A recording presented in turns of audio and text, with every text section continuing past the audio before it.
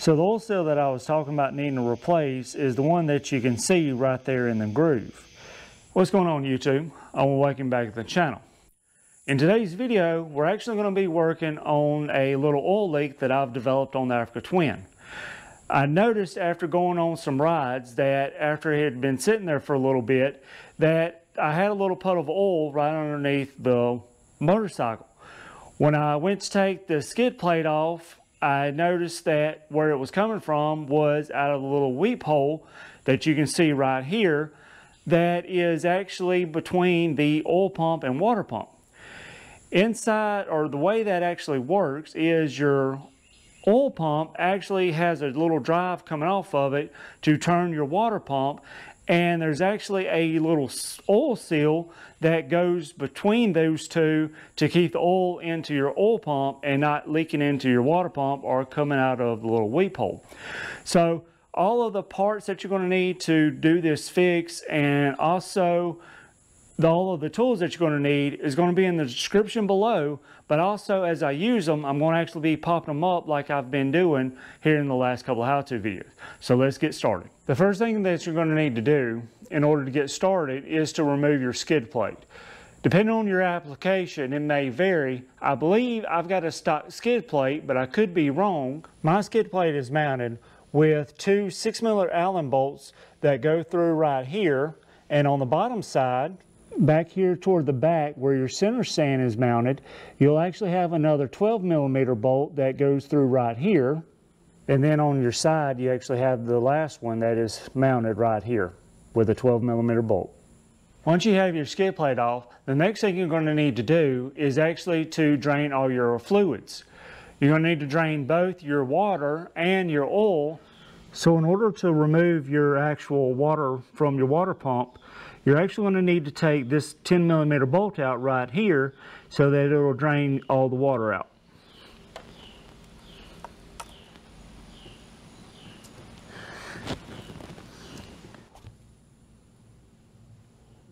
Now that most of the water and coolant is out of the bike, let's go ahead and put our drain plug back in. That way, even though we're, we will probably still have some fluid come out when we take the water pump off, we got majority of it out and we won't make quite a mess.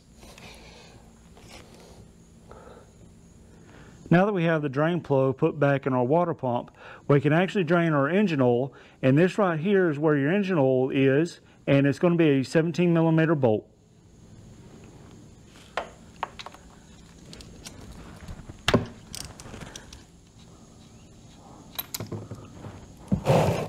Like our coolant, we got most of the oil out, so we can go ahead and put our plug back in. That way we're not leaking any more oil.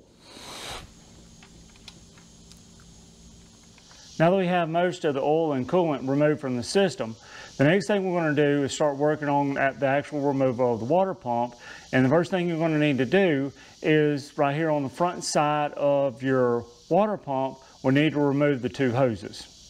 So in order to remove this outside hose from the water pump, let's remove this 8 millimeter bolt right here and it'll allow us to pull it out of the water pump.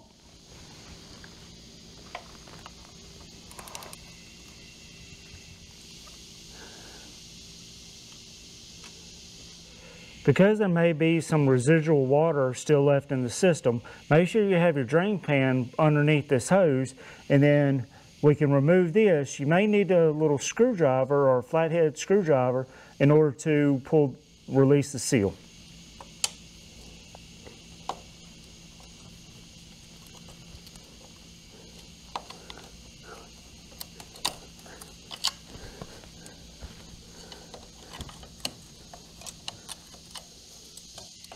All right, now that we have that loose, we can actually work on this inside hose. And this one doesn't have a any type of O-ring or anything holding the pipe on.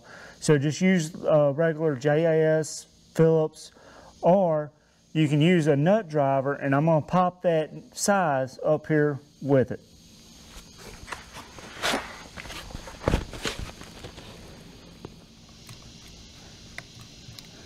And now that we have the hose clamp loose, we can actually wiggle it off just like you would any other hose.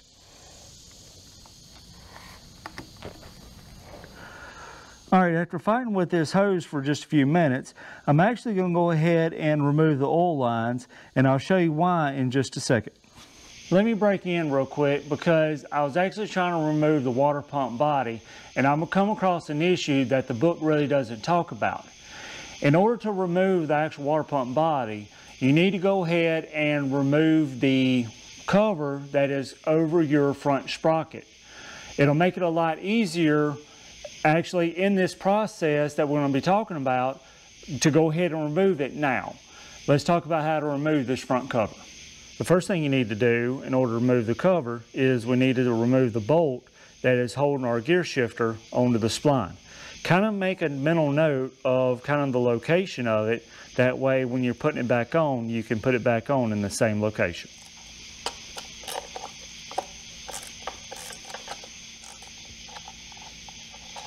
All right, once you have the bolt out, you should be able to just kind of pull it out just barely.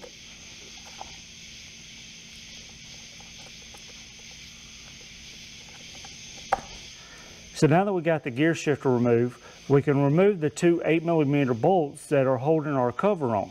You got one of them that is sitting right up here, and then normally you would have another one right down here, but I had removed it trying to get the housing out. So let's go ahead and remove this top one that we have left.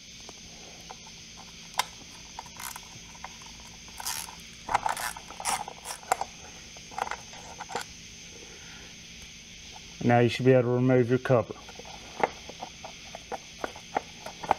So when we remove the oil lines, we'll actually be able to get into that inside hose a little easier because we'll be able to move the metal hose out here to the outside so like I said, it'll give us access and a little easier in removing that hose. So the first thing I'm going to need to do in order to remove the oil lines is to remove the two 5 millimeter Allen bolts, one right there and then one down here on the bottom, which are holding a E-clip that's holding your two oil lines that's going to your oil cooler.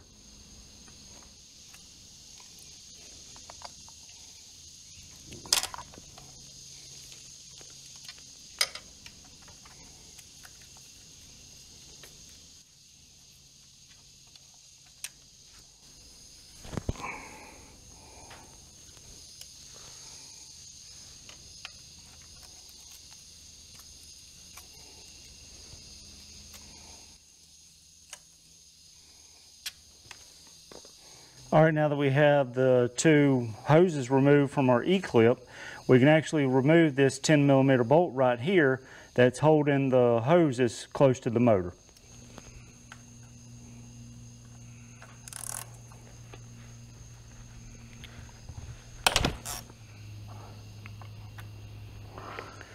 All right, let's remove our other 10 millimeter bolt right here.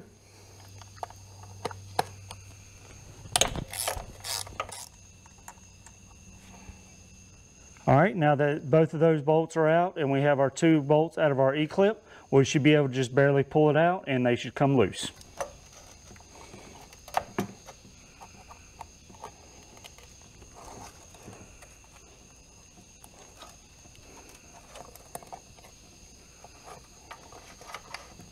And there's your E-clip.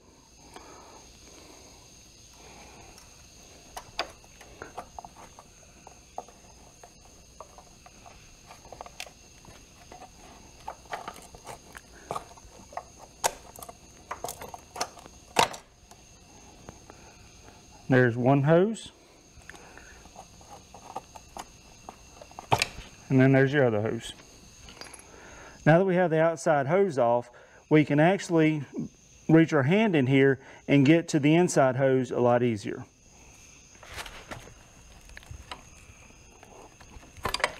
Just like so.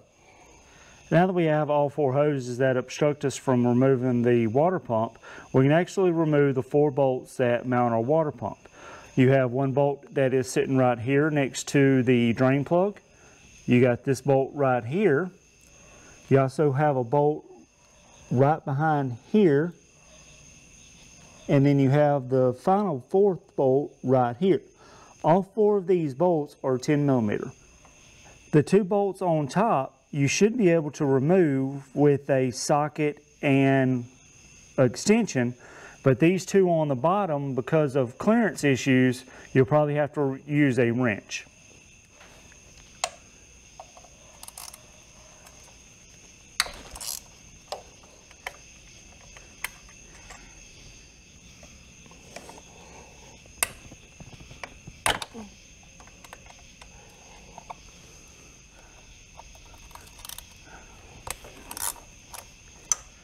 So this one right here, we're gonna have to leave in like I was talking about just a minute ago because of clearance with this frame rail.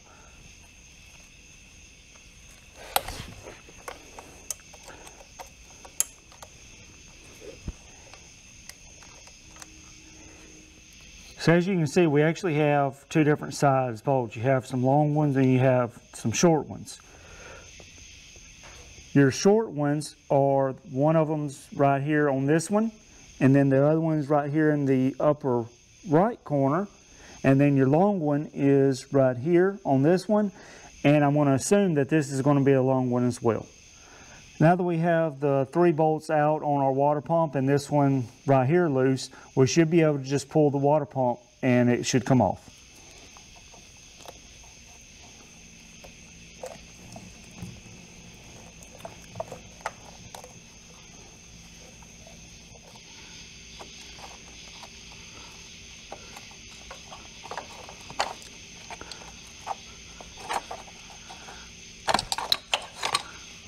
So on the water pump cover, I actually had to use a little screwdriver to pry the cover off of the actual water pump right there because of this little dowel pin right here.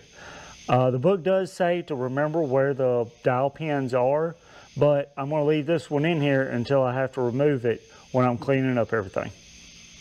All right, now that we got the cover off, the book does say that you may have to use a little pry bar or something in order to pull the back off because of the two seals that we were talking about replacing. So with even pressure, just, you know, kind of go back and forth back here.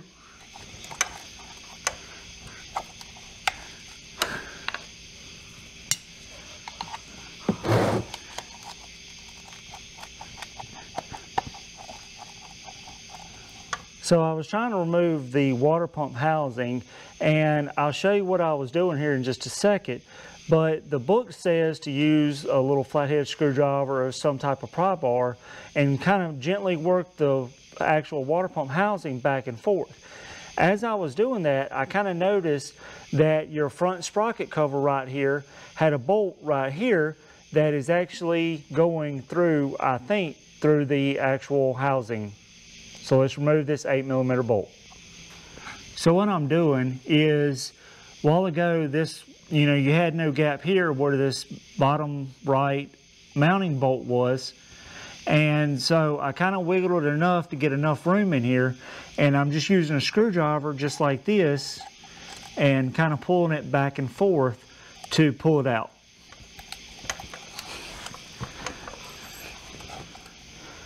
All right, now that we've jumped back where we were before I broke in earlier, we should be able to easily remove our water pump using the same procedure that I was just talking about. And like I was thinking, it come right out.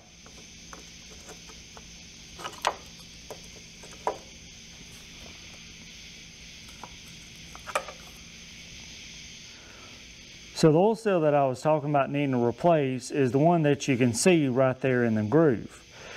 The It was allowing the oil to come out of the weep hole right there that was letting me know that it needed to be changed. So there's the weep hole that you need to look for in order to see if that oil seal is actually loose. Also, I noticed that when I was looking at the book that there's another seal that is right in here that is keeping the water in from leaking into the same weep hole. So it kind of has a two seal design with just one weep hole. So as you can see through the process, I've got a lot of cleaning up that I'm going to do in order to get all the old oil and everything else so that if something started happening again, I'd be able to know that it's not from this same procedure. So let me get everything cleaned up and I'll be back with you after we get that done. So it's been a few days since I took the water pump out and it took me several, several hours to uh, do some cleaning. And let me show you what it looks like after I've done all the cleaning. All right, so that's what it looks like after I did all the cleaning right behind where the water pump is and everything. Um, as you can see, I still got a little bit more cleaning to do, but that's going to be in a future video uh, because I do have a new front sprocket and chain and I'm going to replace those two. And so whenever I get this off, I'll actually try to clean up the rest of this back behind here. But this uh, oil that was right back in here was caked on really good. So it took me, like I said, several days to get it clean. So when I went to get the oil seal out back behind here, what I did was I used a little screwdriver right here and kind of reached in here behind here and pried in there enough to where I could kind of pull the seal out a little bit. And I used a pair of needle nose pliers to kind of grab it to pull it the rest of the way out. Um, we're also going to change the other O-rings that you got. One of them's right here and you have one of them right here that I've got as well. Um, if it's one of those that if your bike isn't leaking that bad and these O-rings are still good, you don't necessarily have to replace them. But I've never replaced these O-rings and it's very possible that these O-rings are from 1993. So just to be on the safe side, let's go ahead and replace all these O-rings. So the first one that we're going to do is actually going to be our oil seal. And that's the part number right there that I'm also going to display right up here. And it's one of those that when you go to put it on, add you just a little bit of grease to the outside to kind of help it slide on a little better. And then you want to make sure that the opening is facing the outside, just like so.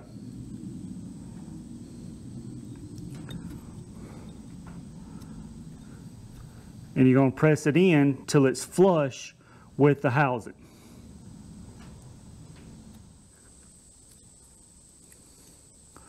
just like so. So your next O-ring is going to be that part number right there.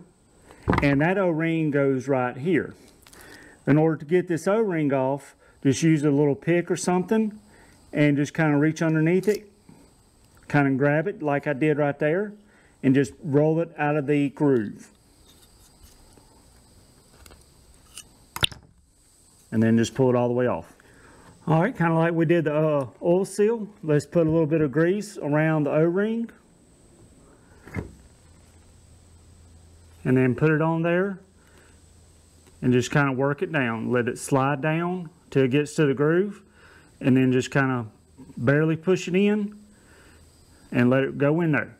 And what you want to do is you want to look at the O-ring and also make sure that it's not rolled. Otherwise, when you go to put it in, you're going to tear your O-ring. So the other O-ring that's going right here is going to be the one that goes between your front housing and your back housing. And this is the part number right here. And as you can see, it's kind of molded in a certain way so that you can put it in this the groove right here. So make sure that after you put some grease on it, make sure that you're putting it in the groove the way that it's molded. All right, now that we've got the grease on here, let's lay it in the groove and line it all up. And the grease will also help it when you put the front cover on it. It'll actually help it stay in place while you put a screw in here to hold everything together. All right, now that I got the front cover back off, we should be able to slide it in there without any problems. Once again, making sure we're not catching any electrical hoses or anything.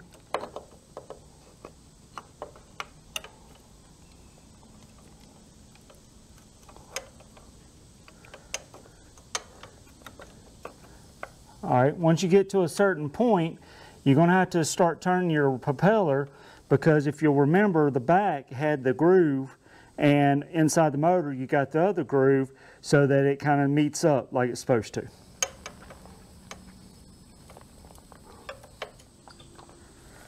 So it kind of started going in. As you can see, the propeller's not really wanting to turn, so I know it's in the groove.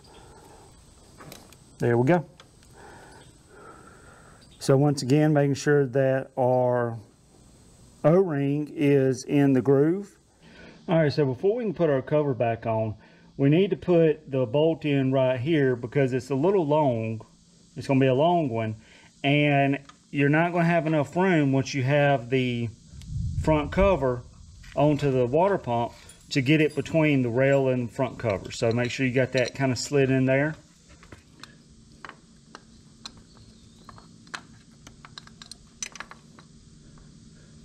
All right, make sure that your O-ring hadn't fallen out of the groove. And we're going to have to be careful of our wire right here to make sure it's not getting between the front and rear cover. Or rear, make sure it's not getting between the front and rear housing.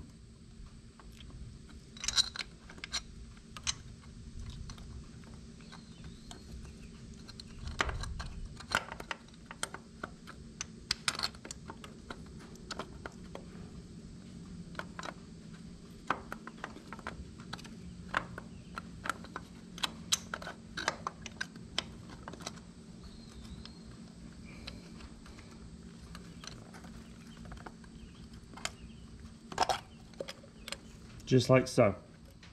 Now that we got the front cover on there, we can actually rotate it and line it up with the rear mounting locations.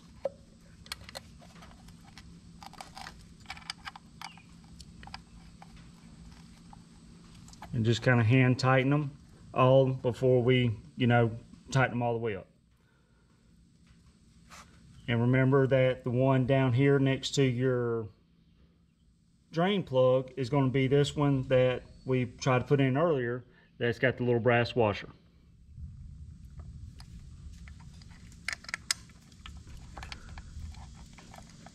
All right, and this one right here is going to be a short one.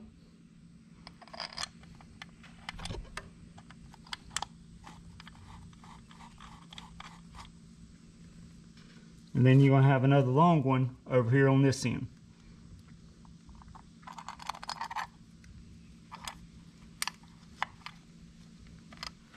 All right, like I always do, we're gonna crisscross tighten these up. We're gonna go from hit this one right here to this one down here to this one, and then finally to that one right there.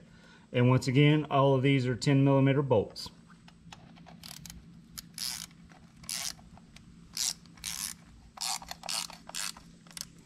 Okay, got that one snugged up. And remember that these two on the bottom, you're gonna have to actually use a wrench because of the clearance.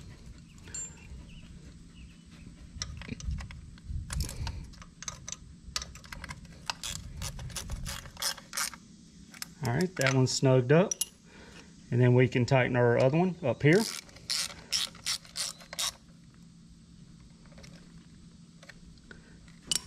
And then finally, the one that's right there.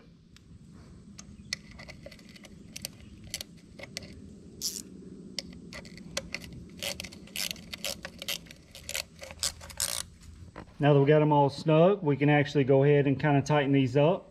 There's no torque spec I found, but you're not going to want to over tighten it enough to where you strip out the holes.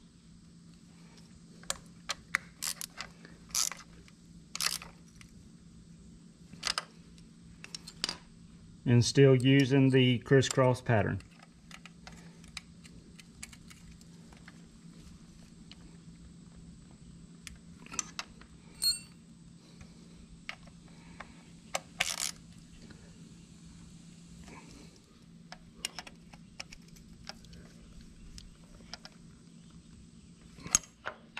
So let's put our rear hose on and it's the one that is not metal.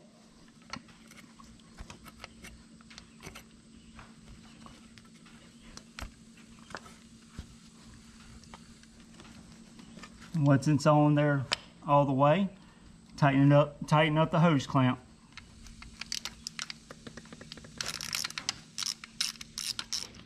All right, so let's replace this O-ring right here, and that's the part number for this O-ring. And make sure that you put a little bit of grease on it. All right, so if you look at the O-ring, it's kind of beveled in a way that you got a small side and a large side.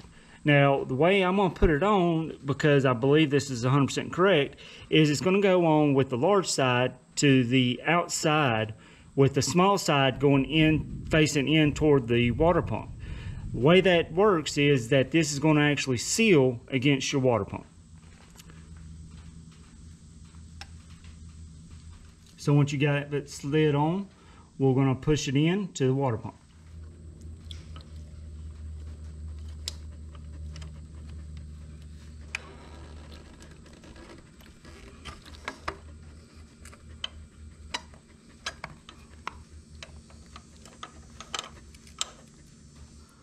All right, now that we have it into the water pump, we're going to secure it with this 8 millimeter screw that goes into the slot right here.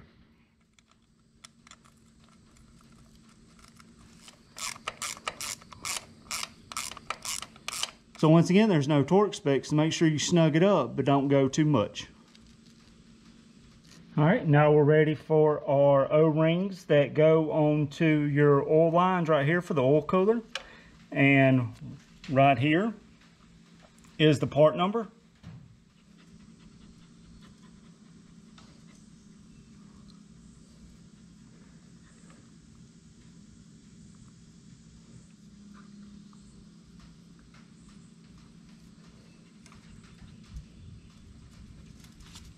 All right, once you have the O-rings on there, set it inside your frame rail with the bottom one first and then align it with your oil filter housing.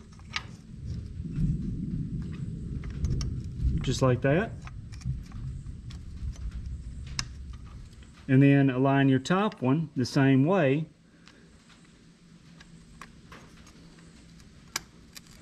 Just like so. And let's go ahead and put our two bolts in right here to hold them into place and these are going to be 10 millimeter.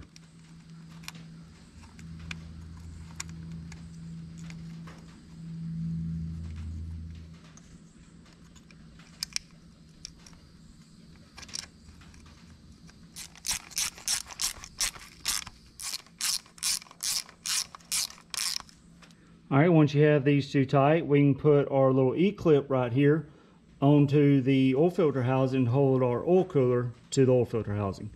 And the way you put it in is you're going to want to put the bottom side in first and then rotate it in just like this.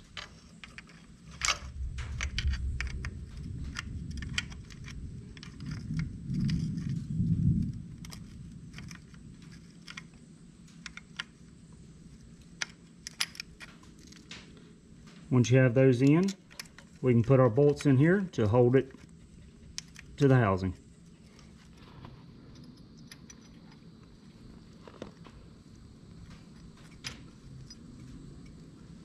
Once you have it kind of started, you can actually tighten it up with a 5 millimeter Allen.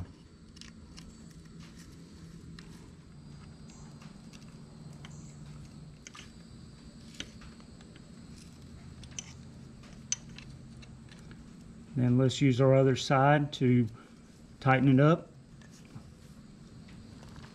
And then finish up tightening our top.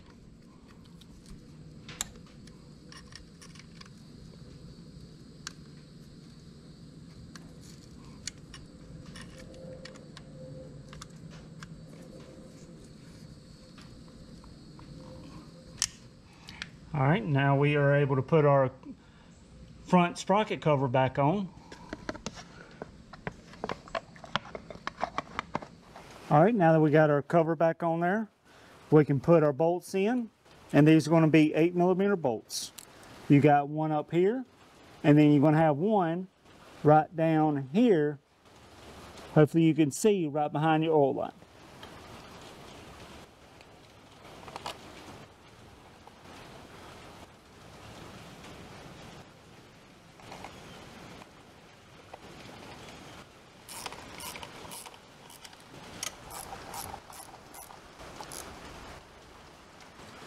Let's put our gear shifter back on and just kind of, if you kind of remember where you had it, you know, put it back in the same location or if you need to, after you put it on, it's not in the right location, just unscrew your bolt, take it out, and then adjust it to where you need it.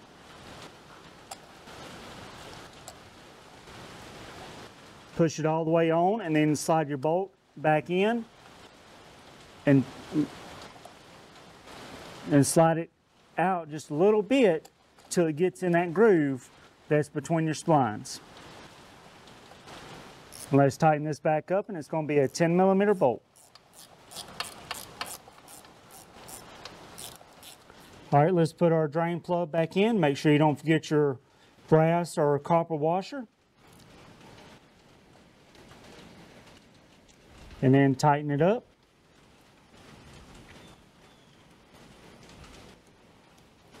With a 10 millimeter. All right, and while we're down here, let's make sure that we've got our drain plug tight because I don't remember whether I tightened it up all the way when I had it put, put it back in. Looks like I did. All right, now I'm gonna go ahead and replace my oil filter and I'm gonna put the part number for the Wix oil filter right up here. All right, so we're time to start filling everything back up. It calls on your oil for 2.6 liters or about two and three quarters quarts of oil. So let's put it in. So the book calls for about two liters of coolant and I've got about half a gallon right here which is close to two, uh, two liters. So let's uh, put this rest of this in there or as much as it will take before it starts flowing out.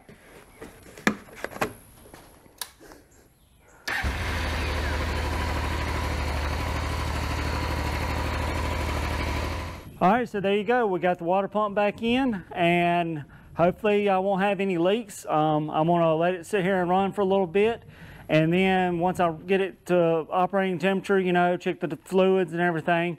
And then we'll have to go on a ride and just kind of let it sit there for a little bit after I get done just to see if it's actually leaking still. So I don't believe it's going to be. Um, I think that I did a pretty good job at, you know, making sure that all the seals and everything, the O-rings and stuff like that were put in without getting pinched or anything. So I think we're going to be in pretty good shape. But uh, if you like this video, please give me a big thumbs up and subscribe down below. And y'all let me know what y'all thought about my how-to. Y'all let me know if there's something that I should have done that y'all saw that I didn't do. Um, y'all let me know about that in the comments below as I much appreciate that. And, uh, you know, share this with some people that may have one of these Africa twins that may have a little oil leak that they don't know about. So until the next video, always take thing route and I'll see y'all then.